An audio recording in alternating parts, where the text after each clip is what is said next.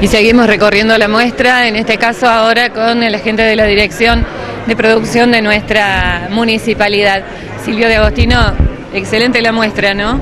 Sí, la verdad que muy contento, algo decía el intendente recién, es un trabajo que se empezó allá por el mes de febrero, en donde el INTA nos convoca y realmente Nizar se puso a disposición y me dijo, bueno, ocupate de esto, ocúpense con Renata, eh, un poco la que fue, estuvo, en el, estuvo en el armado de esto también.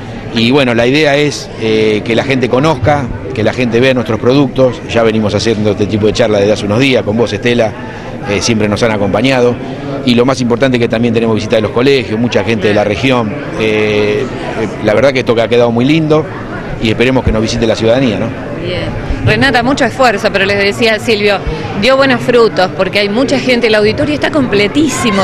Es realmente un placer ver esto. Sí, valió la pena el esfuerzo y sí, está lleno porque pusimos 150 sillas y están todas llenas, así que y hay mucha gente y hay gente dando vuelta y mirando, así que muy lindo. Sí. público en general, que por la mañana uno no esperaba encontrar a lo mejor este tipo de gente acá. Sí, esperábamos chicos de las escuelas, pero no público en general por la mañana porque generalmente trabajan, pero la verdad que muy lindo supera las expectativas. Esperamos que siga así durante el día y que aguante la lluvia.